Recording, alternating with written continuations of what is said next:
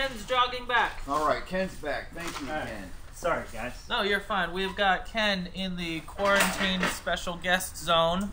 Yes. Can't tell there. Trying to give him space. I've got uh, tape All right. here, so I'll remember to stay, you know, a few feet away from him. But he's pretty safe anyway. We, we hand sanitize just before Yes. each of us. Not at the same time, not on everybody else's hand, but separately. Yes. Washed our hands because, uh, as Ken will tell you, that's the most important thing we could do right Ken's the mayor of Burleson. That's where we're at. Uh, we're so honored to have Ken. We've known Ken for um, shoot, 20 years. How long? Long time. How long have you been mayor, Ken? Hmm. 17 years, I think. Not long enough, that's what I say. Yeah. But he's made remarkable changes, and our No. city is now booming. Tell them how you and I met, Cameron. Uh, so Ken, you know, as he's the mayor, he he knows an awful lot about the government and how that works and everything. So uh, I was going to Hill College over in that well, Old Town, Yeah. Old Town Burleson, because they have a little campus inside of. Uh, is it still an active church or is it? It Um, no, I think they just they let the there's a church that uses the sanctuary on the weekends. That's what it there. is. Yeah. Anyhow, he used to be the uh, mayor. I forget. Was it U.S. U.S. government or what So I was taught. the, Well, I what was taught. the class? I taught two classes. I Okay. taught uh, national government and then state and local government too. Okay, I was Yeah. I was in national. yeah. I don't know. It was one of the government classes, and he was a great teacher, And since he's the mayor, that makes sense. and that Yeah. makes sense. You know, it totally, it's a little tiny town fit. thing. Yeah. Yeah. One of the one of the most beautiful things about being in a small town is you can happen upon a class, and then the mayor is Getting- teaching. Getting taught by yeah, government. yeah, and that was cool. ta- Taught government by your mayor. yeah, it's cool. Yeah. No, he was he was a great was teacher. fun. Yeah, that I didn't is make any movies for it, unfortunately. I, I should have. Cameron's educational history is that in high school he didn't do well on testing and following grades, so he Or would make a Or movie for the teacher, and then he would get off without having to. You know, he'd get a little Well, special treatment. I think he did fine in my class. Did, didn't have to have any special. well, you made it so easy. Yeah, he appreciate loves that. his government stuff Yeah, he did anyway. good. Yeah, I mean I've been following it forever.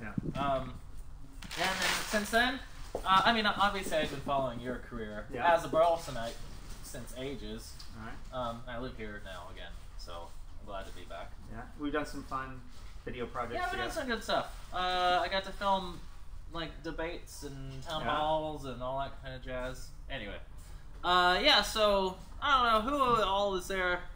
Uh, Would you, our stream got interrupted, so the link that I had shared, it, I should probably go share that.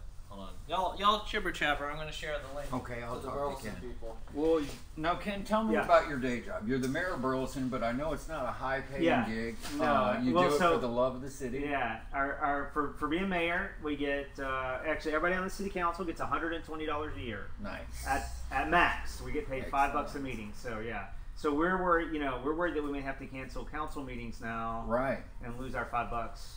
Well, oh yeah, Yeah, that yeah, could no. be it Yeah. could be a downfall. Yeah, you no. better You could buy run to the half a bank, lunch at Chicken Yeah. Express for that. You know, so my day job is I am president of an organization called One Safe Place, which is a crime and violence prevention agency. And uh, among other things, we operate what's called a Family Justice Center, where we serve victims of domestic violence and children who witness violence in the home.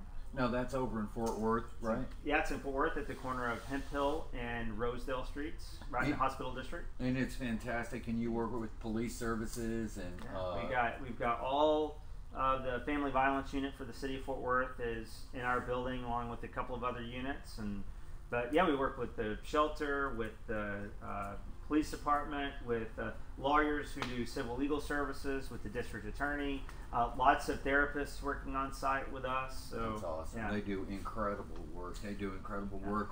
We've actually picked up the phone and had a couple people in crisis and called Ken and uh, got a few things straightened out. You just can't believe how much, it, how great it is to have people around that dedicate their whole lives to this. This is Ken Shetter, Uh-huh. and he's also our mayor, which is so cool because this is you really. I, I know Kelly Clarkson is from this little town, but this is the guy here who Ah. made it what it is. It's um, it's a beautiful uh, little country town, but he's bringing in a lot of new projects, a lot of business projects. Because this mayor uh, is is independent. He he doesn't really take sides, but he encourages business. whatever people want to do, good stuff. You know, that's how I see you anyway. I appreciate that. Uh, well, you give me too much credit. We got lots of uh, amazing people that work for the city, and you know everybody on the city council has been on the same page for a long time. Before me, Byron Black was a great mayor who brought us a That's long true, way. And then we have amazing citizens that are doing cool things, Oh, like yeah. uh, you know your we have your art projects all over the city. Yes, yes. Uh, uh, people love uh, one of the things people love about Burleson is we have cool cool murals, especially in Old Town, and Well, when you live in a place, we've lived here about 28 years. So uh, when you've lived in a place for 28 years and you've tried to survive as an artist, you work for almost every business that comes to town. yeah, Not be, they just call you and say, "Hey, can can you do a mural for me about my business?" So it's Right. been kind of cool. So as you go through town, there's about 28 years of murals in the grocery store up at City Market. Yeah. It's so fun to drive around and see them all over town. Because Right. to me, they're slices of t- time and work and Right. everything. I don't know what they are to you because I, I never talked to anybody. Uh, same thing. Same thing. yeah. Yeah. and it's uh, you know, and you have such a really cool nostalgic vintage style that uh, it uh, for me one of the things that it just sort of reminds me, gives me a sense of Burleson when I was a kid. Kind of. Oh yeah. Which yeah. is, and your work, some of it is a, of an age sort of before that. Yeah, but right.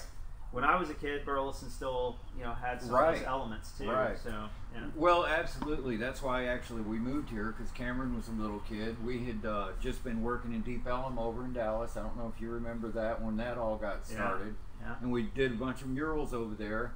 And my wife Randy uh, said, "Let's move to near my dad." And Nice. he lived in Burleson. Very cool. So we thought, man, you know, this is kind of cool. We have all these cool old buildings in Old Town. Yeah. They were vacant and cheap. I'm telling Yeah. you because they hadn't thought about how when we were in Deep Ellum, we just started painting and musicians started playing in these old buildings and having parties. And then it, it became a scene, yeah. and so we were able to do murals on all the buildings. And then the city got behind it, and, it, and that's actually what's happened now in Burleson. Right. Right. Uh, so we knew that that could happen. I just wanted to see if it could happen out in the country, Yeah. so that he could have a normal childhood. yeah. And uh, I, at the time, I was working nationally, so I could stay here and just travel. You Right. Know? So uh, that's how we moved to Burleson. And you know, at first they had no idea what a mural even was. Because Right. in Texas, I don't know why, but there's only a few select towns that have murals. Right. Do you remember that? Yeah, yeah. Growing up. Yeah. I, yeah. I mean, and now it's a much bigger thing. Really. Well, what's funny is Burleson kind of set the standard. Now he's getting calls from Joshua and Cleburne, especially Cleburne, Yeah. all sorts of people. They're like, well, "We want to do what, what what they did in Old Town Burleson, where we Well, have we murals and art like everywhere, because, and it's uh, really cool." Eh, I don't know why every city doesn't do that with Yeah. their old buildings. There's got to be uh, one or two artists that if Yeah. you let them work for 28 years, they're Yeah, going to figure yeah. out how to paint. Yeah. If they start out with some natural skills, that's the main thing. Well, now something I've learned is uh, not from my own experience, but um, we at work at One Safe Place we have an art program Oh uh, yeah, for kids. Yeah. Uh, so we explore all kinds of different uh, avenues to, to That's get right, those expressions that's out. right. But one of the things we've learned over the years is um, a, a muralist. Being a muralist is sort of a special skill. It's not like it's not like you just it's painters that paint and they just do it on a bigger scale. I mean, it's a Yeah. There's, special. there's extra yeah. Well, things. You it's have a lot of practice and it's physical. People don't realize that Yeah. uh, how much work it goes into doing a giant wall on a building. Think about, Right. I can probably paint a thousand brushstrokes a day. Y'all don't be surprised if by the end of this stream he, he he's he's he's like this. Yeah, my back will go out at some point. But what I wanted to try to do is maybe everybody's panicking, so I want to give people an escape. We just have fun over at my studio every day, no matter uh, what's going out in the world. I'm kind of go check the TV every once in a while, but mostly I'm over here listening to music.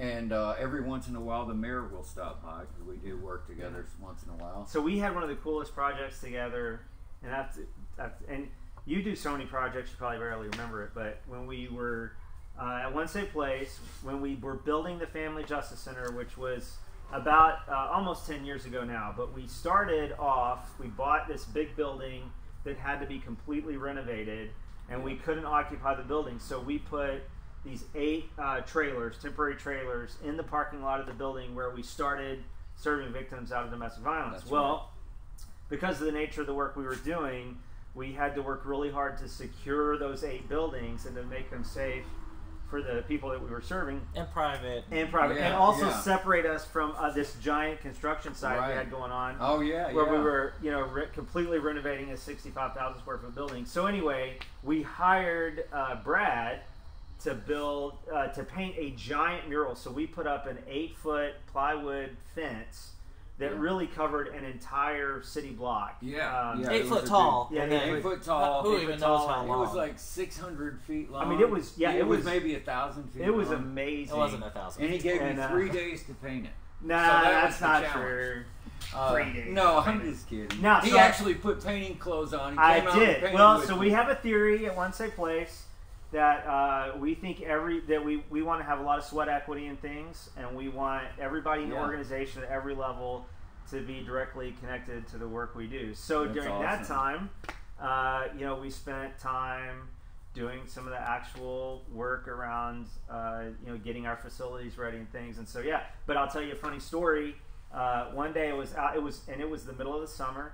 It yeah, was hotter hot. than hell. Oh yes. And uh, I was out there with a paintbrush on that fence. yes, you were. And a guy uh, came up to me and said, "I'm looking for the guy in charge of this place." And I said, "Well, that's me." Oddly enough. He's out there in paint clothes. Yeah. That And anyway, awesome. it was a guy that wanted to talk to us about doing. Uh, uh, this could get too long, but anyway, Oh, you're No, that ahead, conversation led We're, to we're us here till midnight or something. Yeah, something. led to us so- applying- applying for uh, uh, new market tax credits, which is a special program when you do big developments in in certain uh, places. And uh, anyway, that netted us about three million dollars for Whoa! the project. Yeah. Whoa, Yeah. nice. Isn't that funny? And- Wow. Yes, excellent. And, uh, but uh, first, my first impressions. my you know. question, yeah, first impressions. My question is, why do you walk up to you instead of me? I well, I Was my hat wrong? I actually the uh, wrong- I actually think he had gone into the building and Oh, okay. uh, asked Oh, for me, and they said he's he's out there painting on the, The field. young one when with I- the by paint the on. time And I he get just covered guessed, with that yeah. much paint, I do look like a guy, Well- a homeless guy that might have gotten hired. In fact, we Yeah. did hire some couple of homeless guys. Yeah, to we come did and on that project. that yeah, project. but people still I didn't realize how many homeless people are actual artists. I'm not even kidding you. Yeah. All day long, artists.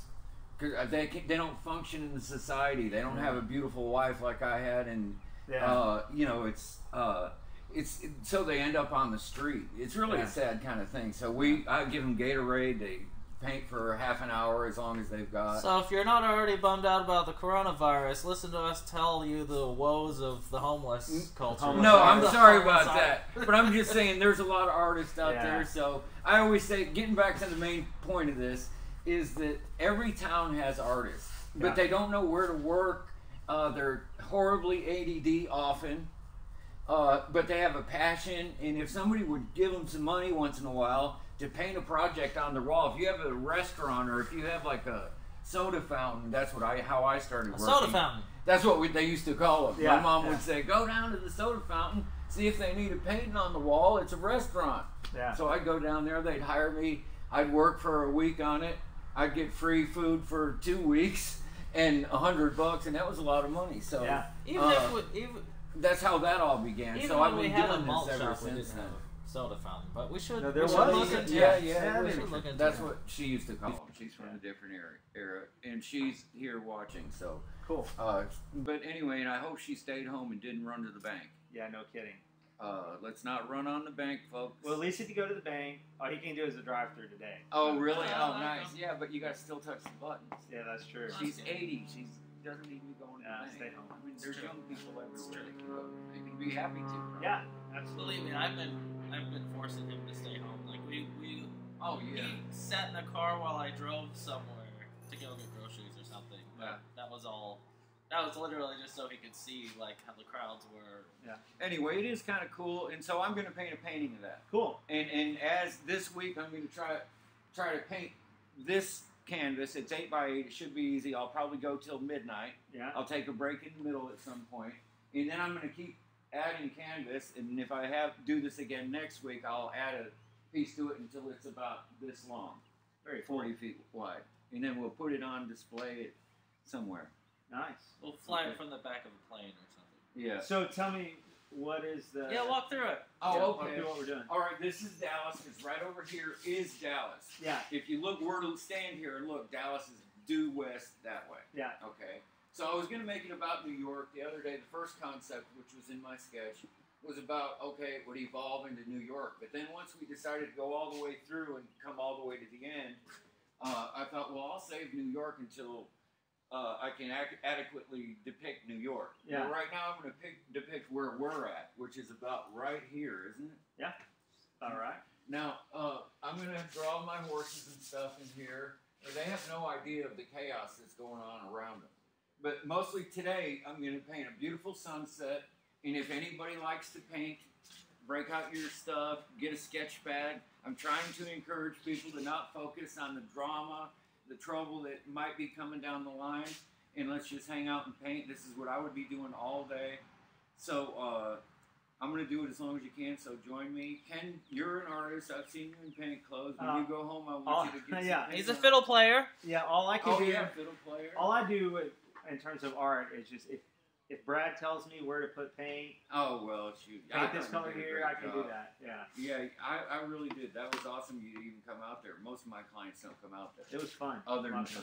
throw some ideas and stuff. But if you guys have any questions for Mr. Mayor, the mayor of a small town, we're not going to get like political, but it is interesting how people respond in you know in times of crisis, especially in a in a rural.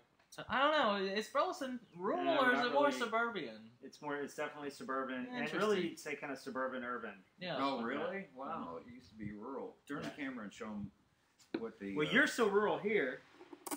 Yeah. After the show, I want to talk to you about that because there's a lot of housing going around. So. Yeah. Anyway, Nice. so I'm going to start painting. I'm just going to start with the sky. Any and if you get you want to use my techniques, I've been doing this for my whole life. Yeah. Okay, so I can do it really fast without even thinking about it.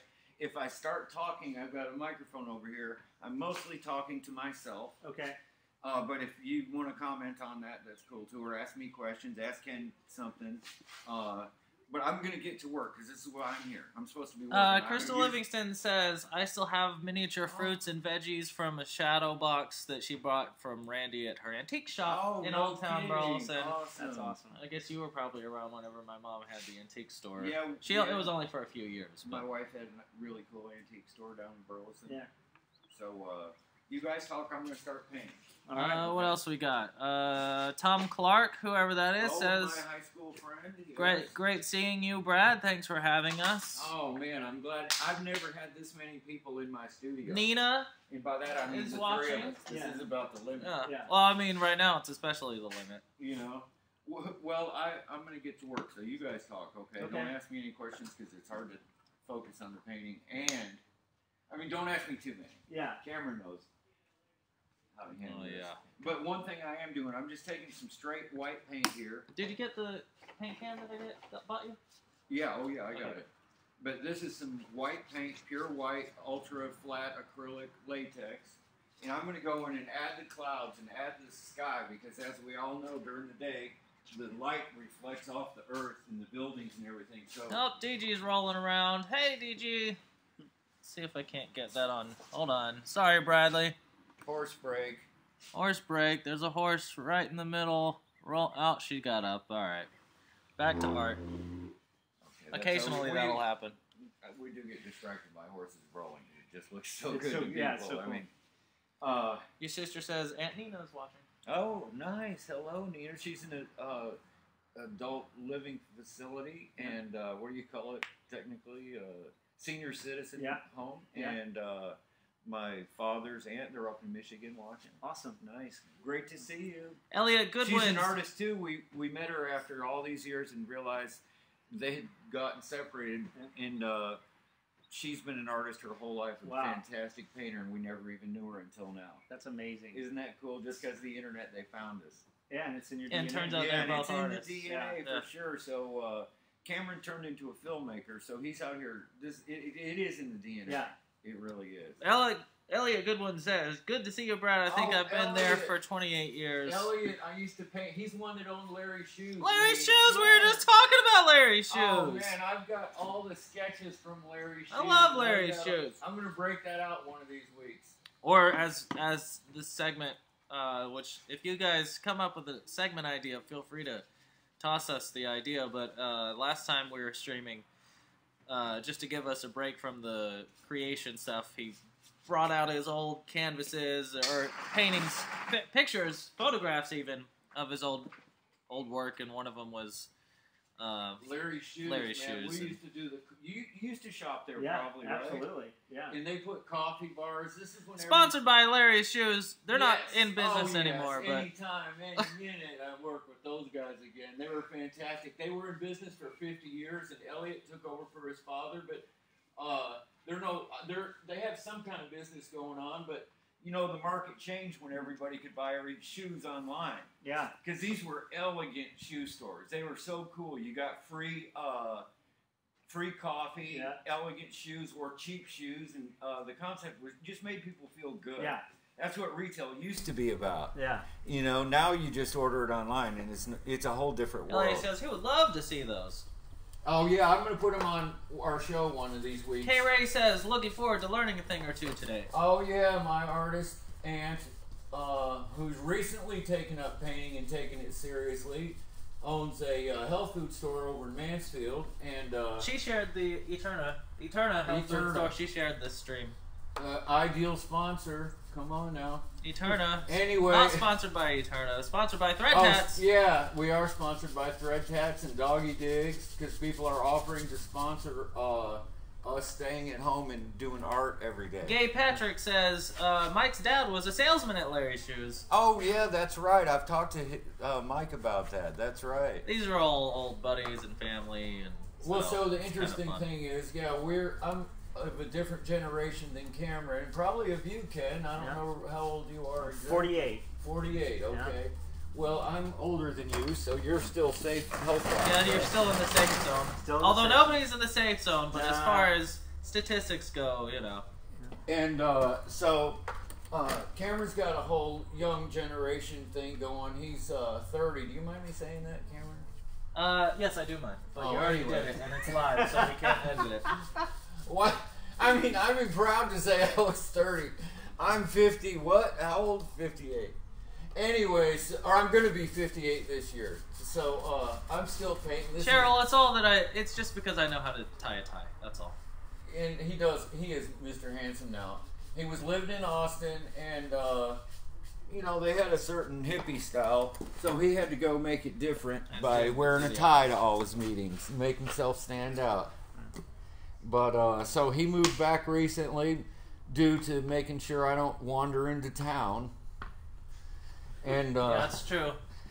and so he's cooking for me. He's lucky really I haven't broken out duct tape yet. But uh, so basically, what I'm doing here is painting just some white where the highlights are going to be. Now, sometimes, especially when you're doing sky stuff, you like, you like to add some like metallic-y, kind of reflective-looking paint in there. Yeah, this is just more of a primer coat because, like, the other night we got kind of carried away and uh, Cameron asked me something. I said, "Oh yeah, what about manufacturing?" And the next thing I know, I've got this in there, and it's Yeah. a smokestack. And I love putting smokestacks in because it's a tribute to the old WPA artists, Right, you know, yeah. and all their work in the post offices Yeah. and stuff had the smokestacks because industry was abusing the people, according to the Yeah. uh, people in the depression. But anyway, so a little tribute to it's good, and industry's going to play an important part in the Corona thing. Yeah, no question. So I might just save that. I have a question for you. over- Who's your favorite, like, historic muralist? Uh, Thomas Hart Benton, of course. Easy peasy answer. That's Come mine on, too. All right. Bubba. Well, I thought maybe when you said the smokestack thing, I thought maybe.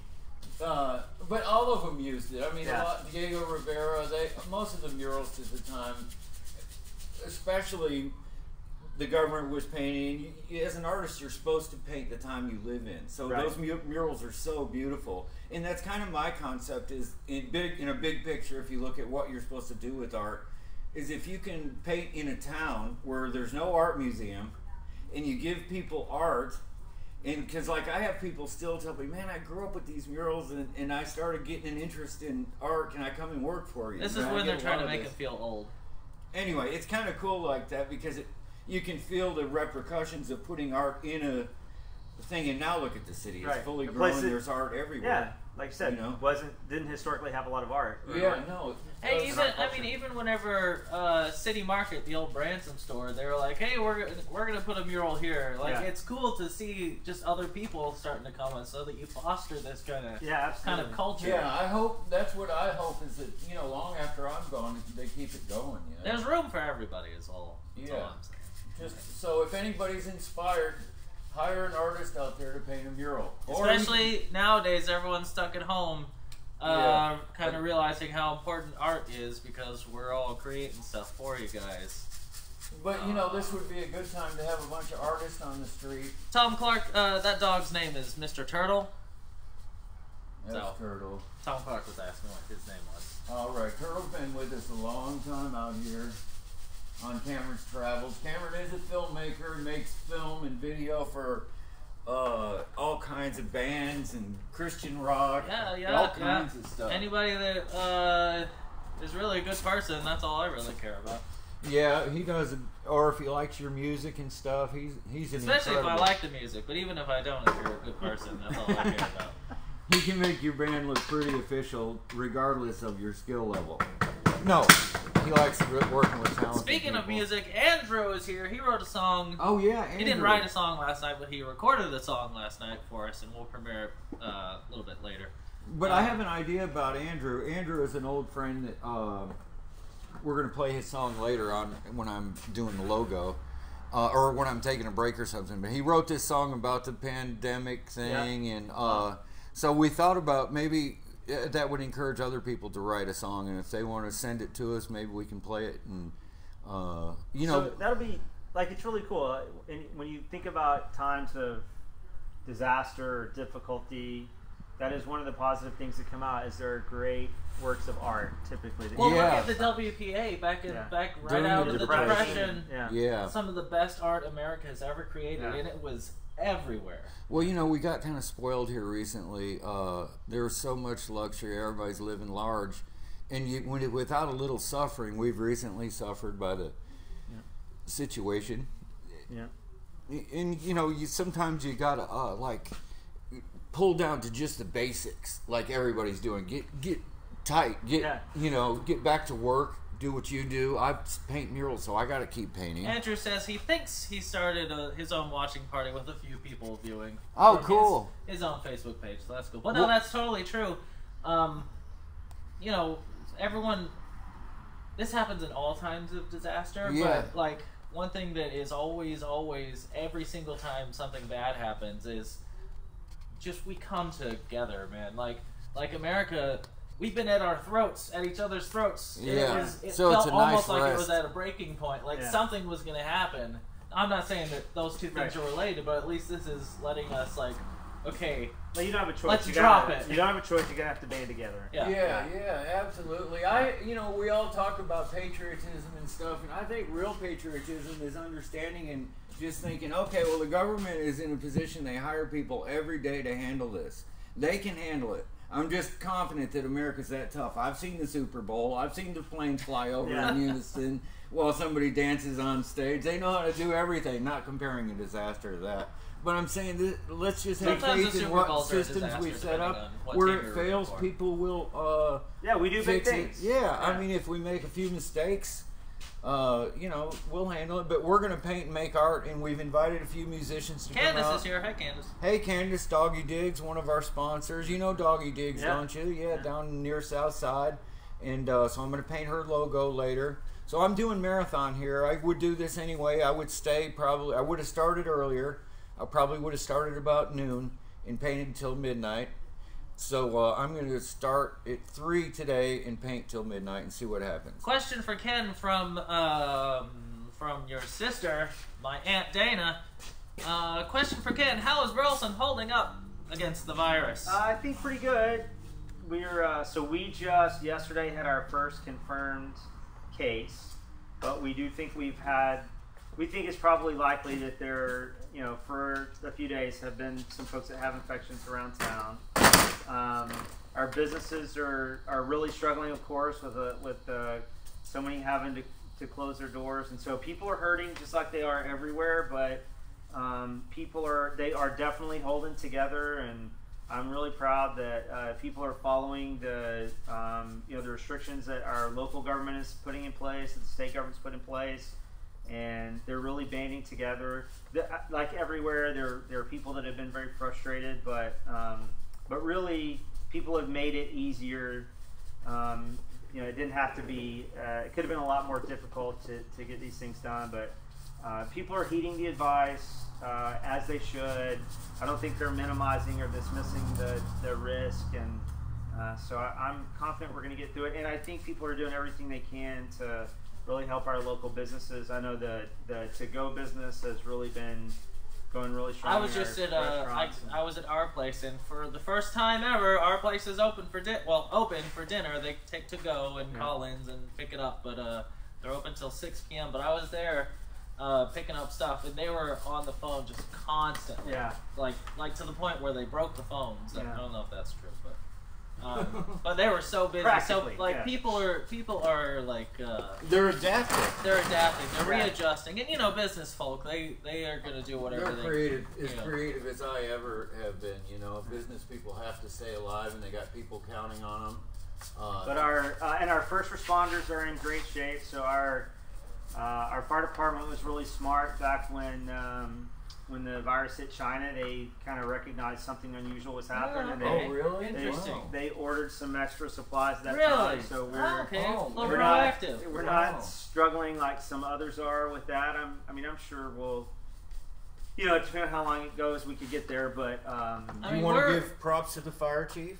Yeah, our fire chief is KT Freeman, and um, he was, you know, he made some smart decisions that back weeks brilliant, ago. man. That's what we need to do. It, it, it's strange because uh, the things things change are changing so quickly. We are already at like the news cycle by every single day. There was something new to worry about, yeah. but this thing is moving so quickly that you know a few weeks ago being prepared is like monumental. Yeah, I mean it's an hour. It re- it's literally an hour by hour deal, and right. uh, the facts are changing uh, all day, every day. So it's been. And I mean, it sounds sounds scary when you're like, oh yeah, the first one was in Burleson or whatever, but Burleson is like we have all the restaurants, yeah. we, you know, we have people coming and going and stuff. But I mean, with the projected targets, it's it's gonna get pretty commonplace that it hits. Yeah, I was. I mean, this sounds weird. Um, I'm not. I'm. I'm not glad the virus was in Burleson, but I'm glad we actually had a confirmed case in a way. Sure.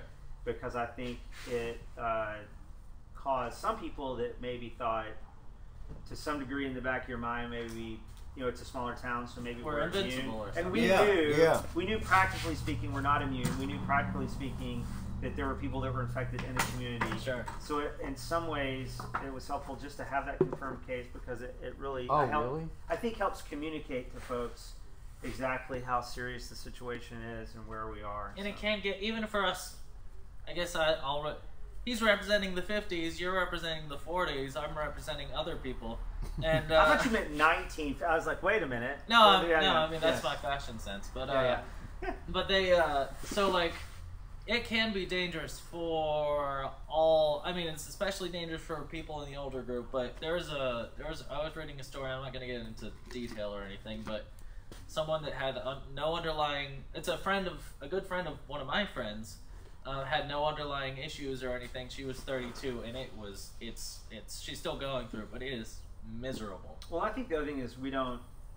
It's a novel virus. Right. It's it's a new, so we don't fully know what all the implications right. are. Uh, but I think particularly for young adults should not feel like they're immune from the effects. That's for sure. And um, but also step up because yeah. we're the we do have our the best defenses. You know, so if if you have a grandma or something that can't leave the house, make sure she stays in the house and go pick up. Yeah, we all still have to do our part. Yeah, yeah mom. Let them come to you. Come on. Yeah, absolutely. His his mother is 80 this year. Yeah, and she has a, a condition, so you got to be careful. You know, uh, I've got asthma, so Cameron said that's enough. You know. I mean, exactly right. So uh, you're you're ADD enough that you'd be touching all the surfaces because yeah. They're shiny. And, yeah. And, uh, oh, there's a new button on here. Listen true. to this when it talks to me. If I press this button, you know. Oh well, he's got me over there. We live next door, uh, and uh, he's got me all hooked up where you talk to this microphone and it tells you the weather and everything. It's Talk to the microphone and it tells you the weather. He's talking about a Google Home. He talk talks to uh, Hey Google, you know, blah Yeah. blah. So all of a sudden, I'm responding to the TV because I sometimes shout at the TV. I don't know why, and Google responds to me. I'm like, that's creepy, man. I don't even know what kind of world. y'all Finally, live in. Brad, you're not talking to yourself. Yeah, I know. Well, you know, I spend a lot of time alone over here, so Yeah. It's true. that's It's what true. happens. uh, Uh, okay, so question for Ken. This has nothing to do with um, Corona. Good. excellent. Um, thank good, you. good. This is from Chrissy. Chrissy. Uh, can you help influence Cleburne to grow like Burleson has? Uh, yeah, you know what? I think we all influence one another, and there are. I think there's some really cool things happening in Cleburne. It, I'm uh, That's totally true. I'm Yeah, jealous of the you know the the old courthouse square. You Mm, can't. That courthouse I mean, is something Yeah, special. we're gonna in Burleson. We're we're creating a plaza, so we're we're sort of creating something that historically we weren't blessed with, Right. which is kind of that town, you know, square. We were Yeah, a railroad yeah, right. We That's right, uh, you're- like a courthouse. Yeah, no, that's right. You oh, like the, the turn of the century Main Street towns. They you either developed kind of in a linear fashion along the railroad, or uh, you know in a square around the courthouse. Or you were So- a watering hole back in Or the you yeah. Yeah, way right. back in But days, um, so I see some really cool things happening in Cleburne, and you know particularly around the square. You know, it takes a while when you know to kind of figure out how to reorient. So a lot of the court stuff moved over to the the Glen building, and but I think like things are starting to happen around there, and kind of reorient for and some to see some new. When Cool when, when did Burleson build what I call New Old Town? That that extra little section right next to the highway. Oh, so, How long um, has that been there? Because it seems like it's been a minute now. yeah, it's been a while now. No, it's I don't know, ten or so years maybe. it's a cute. cool Yeah. looking That development. used to be Yeah, where I it is. used to get my hair cut. Yeah, so the idea is, so we, we had, uh, and you know what, here's what's cool. So um, we brought in a guy uh, named Dan Quinto, who uh, is a really creative planner. Mhm. Uh, he was involved in the uh, hometown development in North Richland Hills. So the idea is they build these um, uh, sort of retro, new sort of retro style development. Oh sure, yeah. And and Yeah. some of that, the retro vintage, is has to do with the architecture, but some Yeah. of it has to do with going back to sort of the turn of turn of the century theory about development and Oh, focusing okay. focusing Oh, on walkability. Well, Ken, I think we all know that it's it's mostly based on my dad's art. That's uh, right. that Oh, yeah. His stuff is all retro. No, so but that there is set the, there is a connection there because I'm doing that too. I'm trying. I, in my art, I try to make it as Americana as possible. yeah, Because I want people to. I'm trying to identify what that is Yeah. by being a regional artist, but. Uh, you know, without all this European influence, because I haven't Yeah. even been to Europe Yeah. yet. You know, I've been all over America to almost every state yeah. but I've never uh, been out of this country. So this is what I know. You know, I'm grabbing elements. Uh, and I get excited about it because wherever you go, there's something cool to paint. You can go to anywhere. You can, you know, go out in the pasture and paint, and there's something cool to paint. But so many cities have their own story. Yeah. Cleburne has a unique story that could be oh, Cleburne's got told. some amazing it needs stories. to be told. Yeah. You know, in some of the buildings, they have a lot of more old buildings than we do. And especially uh, yes, and uh, a lot of older houses that we don't have too. So. Yeah. But the cool thing is, so cities, it, you know, we really screwed up development and planning starting in the 1950s.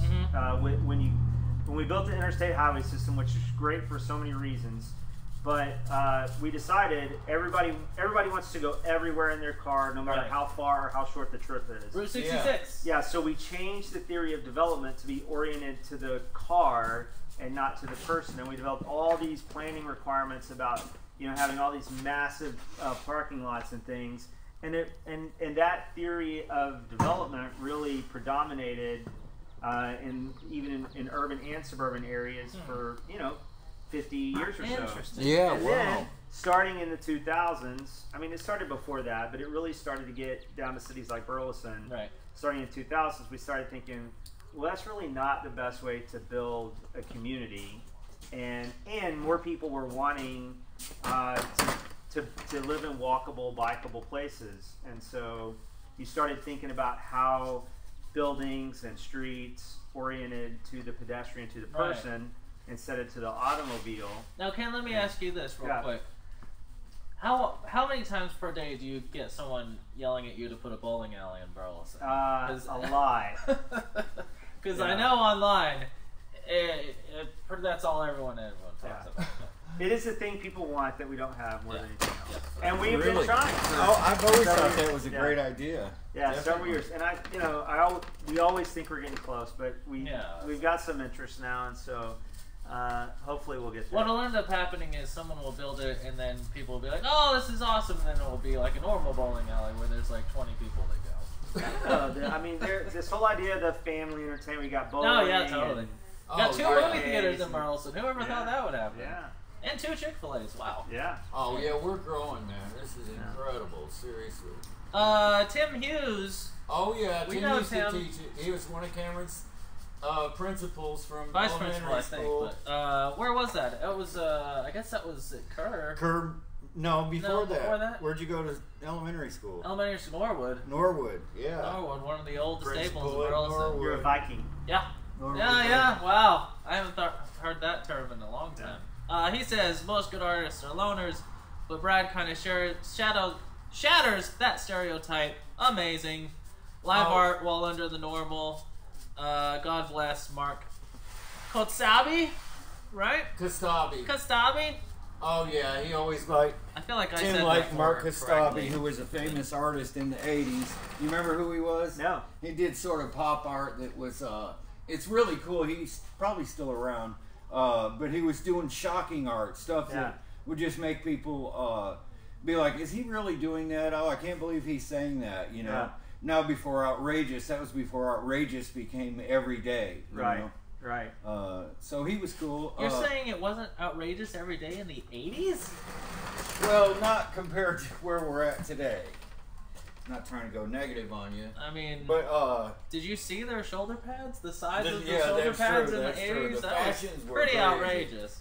you know, but uh, Well, you only think it was outrageous because that that was your uh, wheelhouse, right? Yeah. Well, I grew up in the '70s, actually. All right. So well, uh, I mean, he, by he was in his prime hit- in the 80s. You were in your he prime grew up the in the 80s, yeah. 70s. Yeah. Oh, yeah. I was in my prime. in Based the on the stories I've been hearing since I moved back in. Uh-oh.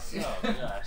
Well, I've been reminiscing recently, and uh, you know, it's coming up on my 40th high school reunion. Yes, I know year. because it's coming up on my thirtieth. Oh, Yeah. sweet. Yes. Yeah. nice. Speaking of uh, special anniversaries, Gina's Pizza is celebrating their 50th year this year. nice. So if you're ever in Gina's. Burleson, Gina's maybe one of the oldest businesses in Burleson that's still around.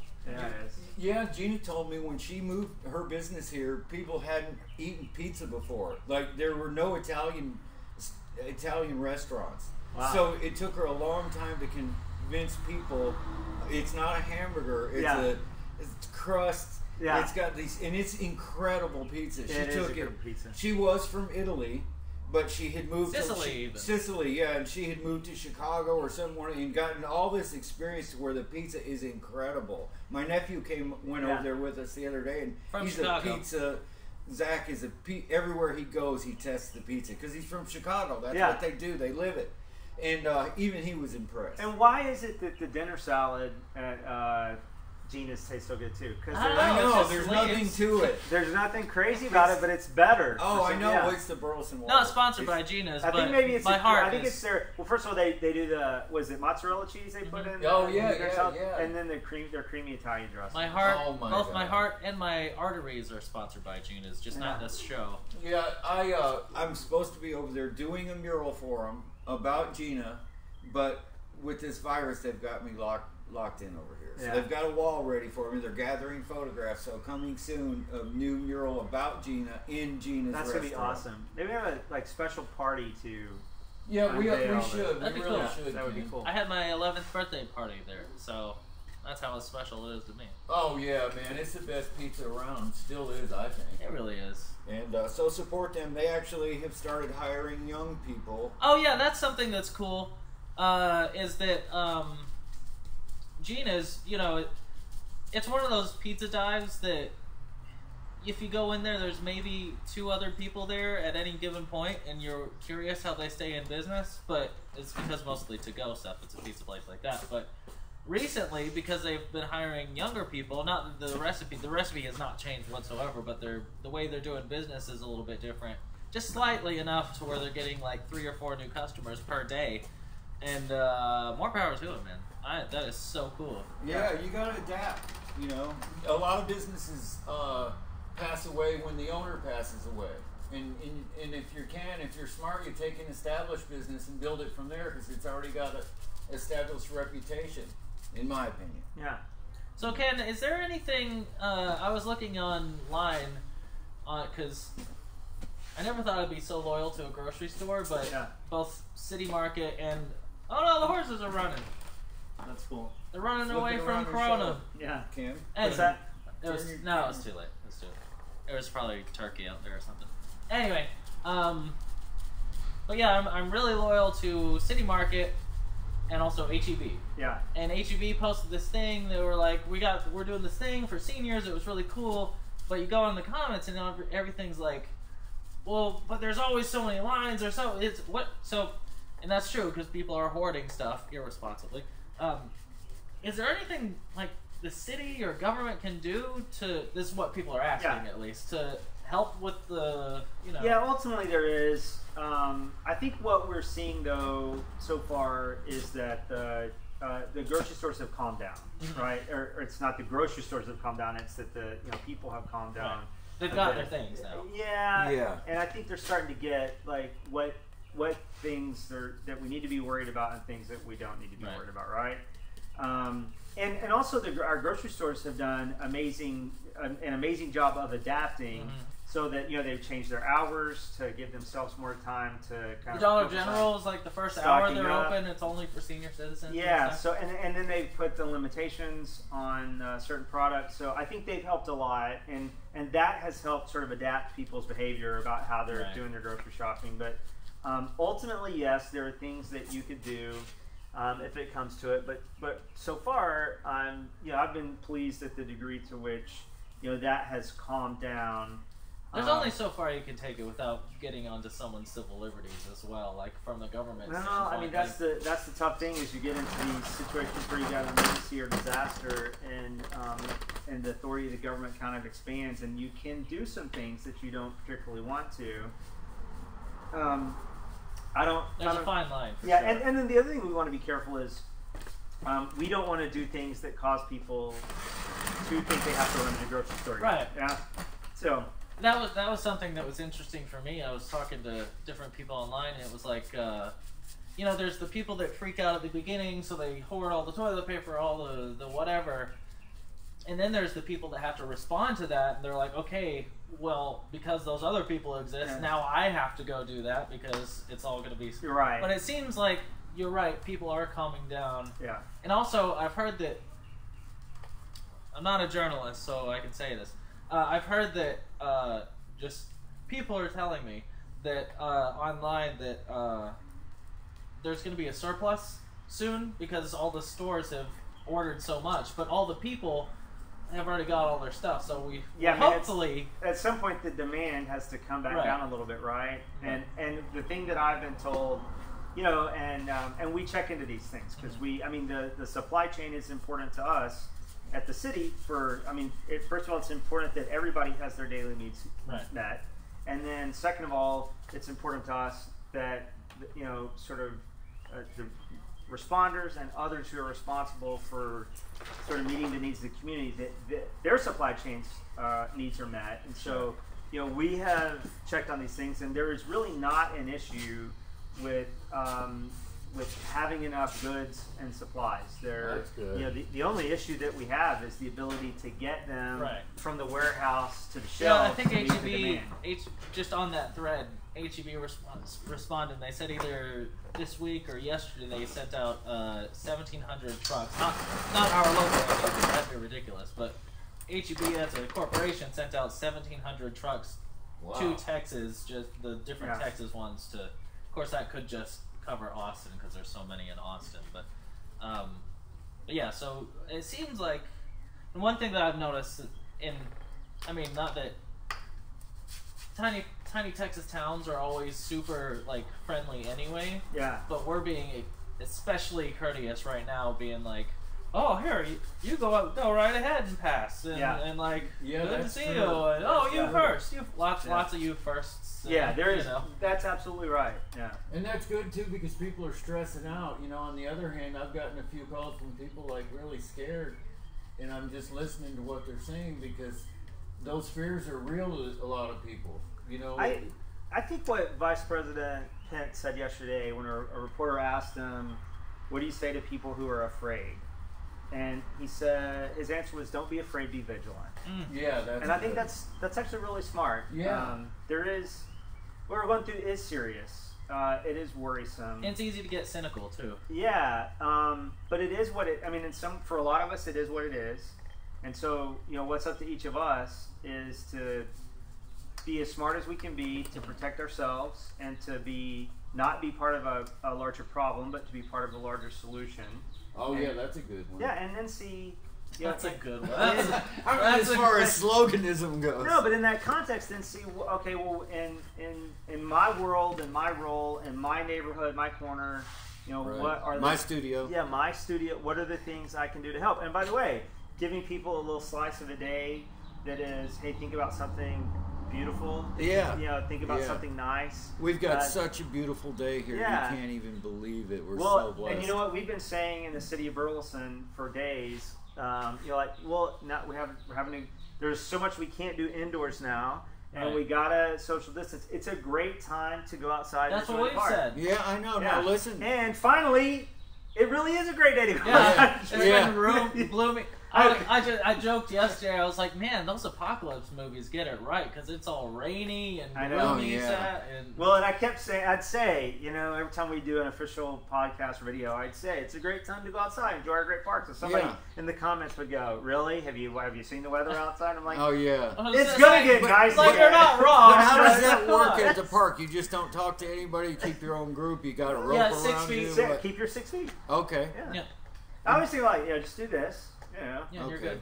It's mostly just don't spit on people. well, that too. Is yeah, that? that's I mean, but too, yeah. touching is is bad too. touch is bad. You know, remember your Elbow things, elbow, cool, great. yeah. Crystal Livingston earlier called me the most eligible bachelor in Texas, and I'm like, right now, I don't know if No. that's a thing. You can't really no, go there's out no and- dating going There's no dating I- happening. Yeah. Oh, well, there is if you're going to the beach. Some people went. Yeah, to the it's funny. I hear lots of single people saying, "I've been preparing for this social distancing thing for my Yeah. whole life." Oh, No, yeah. it's totally- Y'all have that's this new generation. No, it's not. You're not wrong. Yeah, that's Yeah. true. Yeah. Especially us artists, artist types. Not so much him because he's a social, social Sam. Um, But all you introverts are. oh, ah, the worst. What? Uh, so like this is the this is like I got my video games ready. I Yeah. got, so like literally life has not changed very much for me because Yeah. you know I do music videos and documentaries and you know promo videos which I'm pretty good at yeah. uh, for a living. So like all the businesses are shut down. So this is why we're doing this is because it's like well. For all intents and purpose, like there's not much has changed for someone like me, yeah. and I don't have kids, so Me like, either. This is what know, I'd be doing anyway. Yeah. Other than uh, the mayor's here, and it's kind of Yeah. cool. Uh, no, listen. I- Even to make it cooler, you know, uh, i- how are our parks? Do they? I mean, how, how is Fantastic. it? Yeah. So I'll tell. I'll give you some good news. Okay. So um, the the parks are in great shape. Um, you know that, that's the and if you've not taken advantage of Bailey Lake Park and and the bike trails. oh, like that the- Bailey Lake the- Park is beautiful. It's beautiful, and then the bike trails, uh, the mountain bike trails behind Chisenhall Park are awesome. You're going to get really muddy now, but hey, Hey, somebody- man, that's half the experience. Somebody sent me a message the other day. So they, they took their kid mountain bike riding, uh, and uh, Sean Murphy, who's the band director at uh, Centennial High School, just sent me a text message. Said he, he just got back from them taking his uh, one of his boys to ride ride a mountain bike. Said he hasn't been that muddy in about you know Excellent. 20 years. Yeah. But uh, but it was a great day. There's So- a bunch of like like for me it's always easy to get cynical about you know the way how much money influences America and corporations and Yeah. everybody's yelling it at everybody but man everybody like top to bottom is stepping up to the plate these Yeah. days like I know a bunch of my friends um, like that work in malls or something that obviously can't be open they're getting paid sick leave Oh, well, yeah, sick leave corporations or, are or, coming like they're all coming together like there's so many um, i was just looking up because my dad loves football um, I i was just looking do. up how to i was like well there's no sports happening right now either. Maybe I could watch some old games that I Yeah. haven't seen or something, Yeah. or show it him, just for some sort of sense of normalcy. And the only way you can do that is with NFL Game Pass, which is Yeah. like a subscription service, but it's totally free That's awesome. until May. So like, there's different ways to entertain ourselves, and that's why there's everybody and their dog is live streaming right now. Yeah. And, you Yeah, know. well, you know, it's it's everybody's stuck at home, so we got to keep busy. So Yeah. uh, keep ourselves. Yeah, and hey, I got about five minutes. Oh, now, you're so- fine. Uh, okay, so there's uh, one or two more questions. Uh, Ken, Gray, uh, Kathy Smith says, uh, "Has the date for the city election changed? Read that it might change uh, So- to November." here's uh, so because I'm on the ballot, uh, I'm really taking a very hands-off approach to the to the May election. that Oh, makes okay. sense. Yeah. Uh, but I, what I can say is this: is that the governor um, has given cities permission to move their uh, May elections to November, and al- almost every city I know of, as they are meeting, they are making the decision to do that. I think most people are saying um, they don't know how we could have an election right now because early voting Yeah. would start in about three weeks. right. well, not and, only uh, that, everyone's just so stressed. Well, that they and wouldn't you be also able think that most and- of the people that, that work the polls are in their 60s or 70s. Right. Yeah. So it just makes it logistically very difficult. Um, and then I also know uh, every day I'm on a call with all of the mayors in Tarrant County and the That's county right. judge, and there has been a lot of discussion about um, wanting, looking for, trying to get the governor to give us alternative dates because they don't want to wait all the way till November. Uh, the governor yesterday moved the primary, uh, which was going to happen at the end of May, Mhm. to July 6th. July. Oh, and wow. so I think so. Some cities are uh, asking the governor to let us consider that date as well. So the answer is I don't know, and you won't hear me um, advocate for any particular solution. I'm going to leave that to Right. Uh, the rest of my council members who are not on uh, on the ballot. But um, that, that's a good way to do it. yeah, so to be safe. so the possibilities are it could it could go on in May. Um, most election officials are telling us they don't they don't know how they could accomplish that and give everybody sort of fair access to the ballot. So I don't think it's going to happen.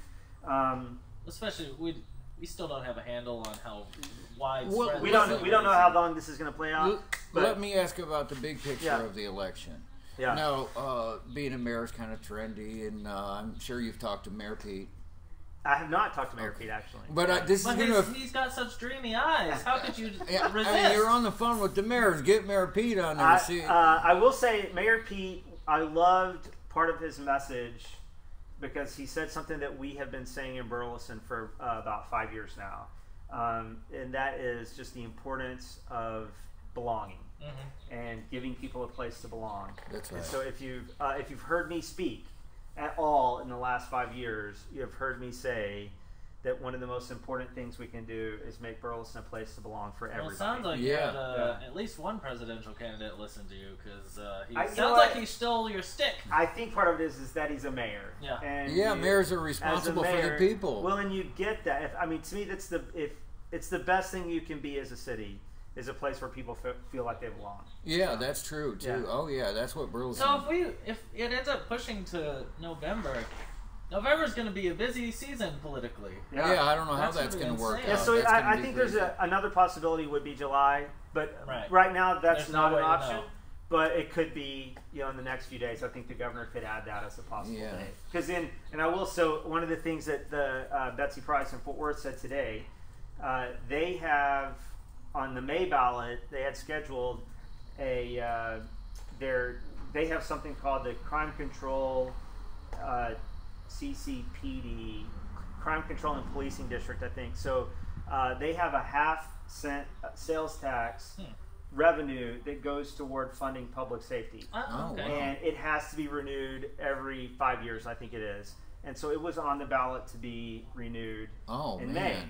It expires automatically in August if it is not renewed an election before then. Hmm. Oh, they're going to So have to do So what something. Mayor Price said is they do not think it's feasible in Fort Worth to hold an election in May, but they also cannot wait until November to have it because their CCPD Interesting. would expire. And, and in Fort Worth, they have a lot of their uh, police law enforcement function is funded through that CCPD. Oh, geez. So it would. It's not something they can just figure out overnight. There's would- all these yeah.